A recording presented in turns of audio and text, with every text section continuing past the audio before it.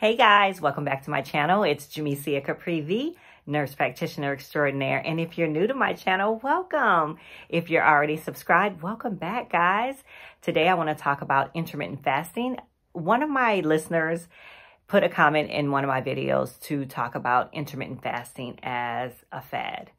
And I want to talk about that today. If you are interested in that, stay tuned.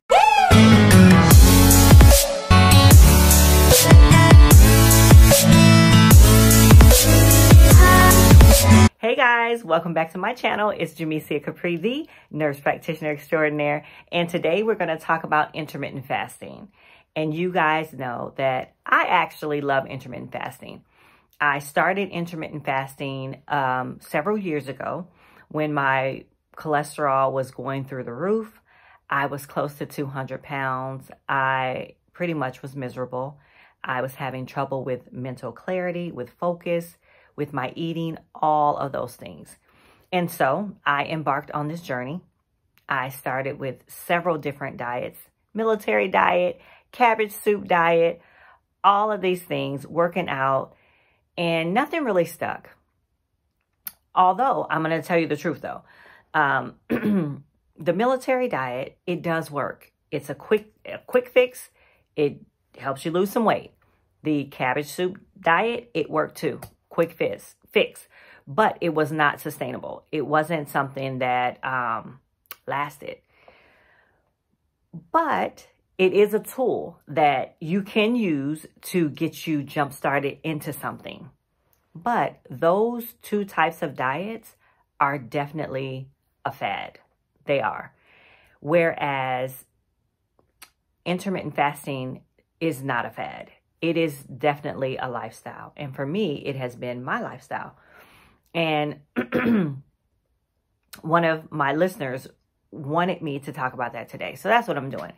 Basically, it to me, it's definitely the real deal because it's what I use.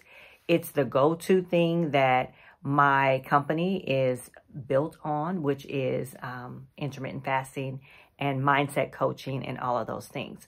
So that's what we're going to talk about basically. I pretty much use intermittent fasting on a daily basis.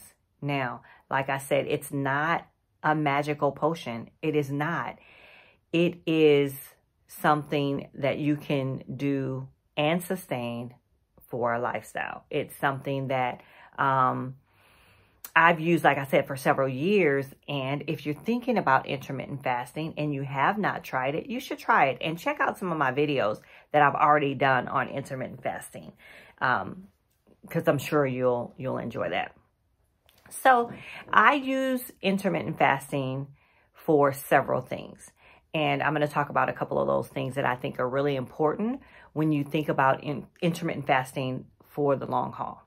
So number one, I use it for focus, to focus my mind.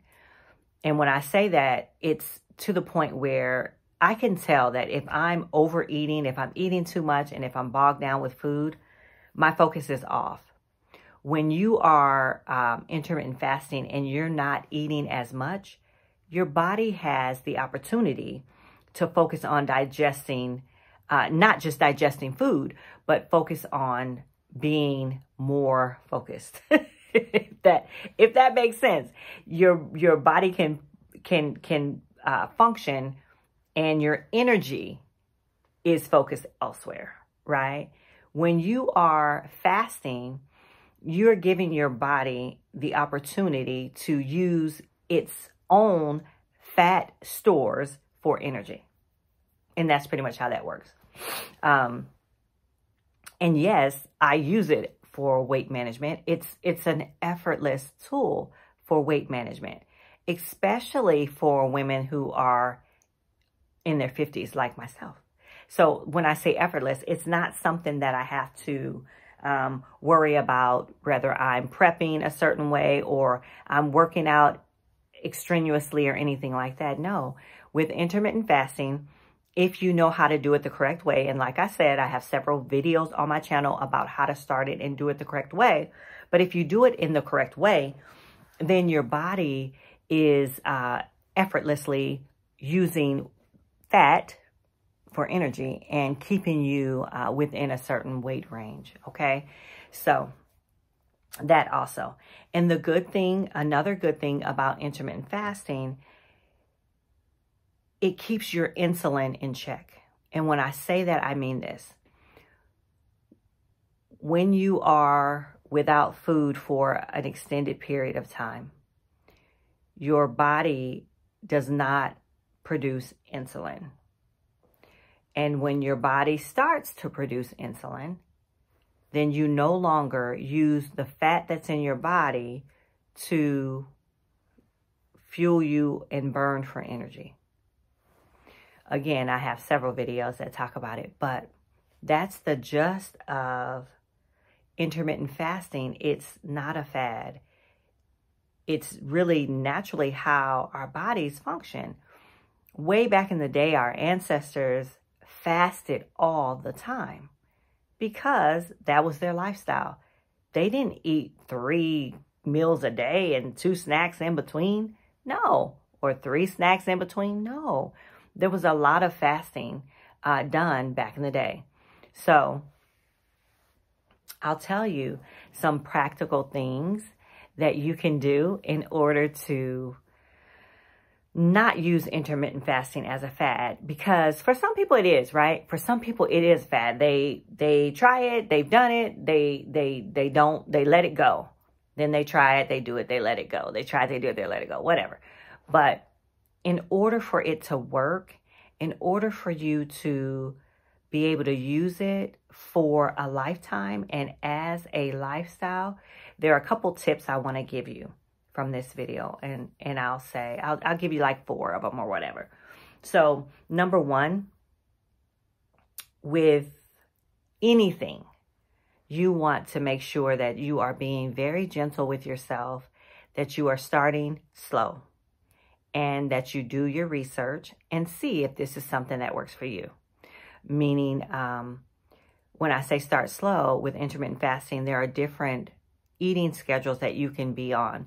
And when I initially started, I started on um, the schedule of 16 and 8. And most people do 16 and 8, which means you're fasting for 16 hours and you have yourself a window to eat for eight hours during the day, every day. So you want to do that. And then the other thing with intermittent fasting, you want to make sure that you are staying very well hydrated. You want to make sure you're drinking enough water. And enough water for me is at least a gallon, at least. But most of the time, people can um, drink their um, body weight or something like body weight in gallons. No, no, in, in ounces. Sorry, body weight in ounces. Um, but I do a gallon. Stay hydrated that way, that way. And you don't have to drink all of the water. You can eat it. You can have it in your fruits. You can have it in your vegetables. Um, you can do teas, of course, herbal teas and, and black coffee. You can do it that way too. So stay hydrated. Uh, uh, I don't know about black coffee so much now that I said that because that's a diuretic. So eh, don't worry about that. Don't do that. Just just your your water, your fruits, and all of that, and their herbal teas. Stay hydrated. Also, balanced nutrition. When you get ready to break your fast, make sure it's, it's balanced. Make sure you have enough good fat, uh, protein, and a nice vegetable, okay, when you break your fast. So make sure your, your, your, your meals are balanced meals. Don't go fasting and then do something just horrible with your diet when you're when you're ready to eat within your eight hour window okay so that's another thing and the final thing um not well I'm going to add a little bit at the end. So I'm to say, I'm to say this. Mindset for sure. You know, you have to look at what you're doing as something positive. You can't look at it as a, a fad. You have to decide that this is going to be um, a lifestyle that you that you want to stick with, and a lifestyle that's good for you, if it's good for you. Okay. And then the last thing I'm going to say, which is a bonus, uh, with intermittent fasting, it's sleep. And this can be um, a powerful tool as well. So with sleep, you want to make sure you're getting enough sleep to keep your stress levels down, to keep your cortisol levels down um, in order for intermittent fasting to work best for you. Now, here's the caveat with the sleep. If you start intermittent fasting and you're going hardcore and you're going too hard and you're not being gentle with your body and with yourself, and you find that you are not sleeping well, then you're going too hard too fast because when you're having insomnia with intermittent fasting, then it's not doing good for you. So you may have to figure out a better schedule or intermittent fasting might not be for you. So again, so pay attention to your sleep. Once you start intermittent fasting, if by chance you start to have problems sleeping, pull back on um, or open up your window a little bit wider. So you might be overdoing it. And when I say overdoing it, you might get to the point where you're fasting longer, where you're fasting, say, for, I don't know, 20 hours of the day. If 20 hours of the day fasting keeps you up at night, you might not want to do 20 hours. You want to go to a different schedule. Um, so just play around with your intermittent fasting schedule, but believe me, intermittent fasting is not a fad. It is definitely a lifestyle. And it's a lifestyle that is sustainable, it's healthy, and it's awesome. So I love it. I hope that you try it. Thank you for tuning in to this particular video today. If you like this video, like the video, subscribe to my channel, send my video out to somebody who might uh, benefit from it, and I'll see you in the next video. Take care, guys.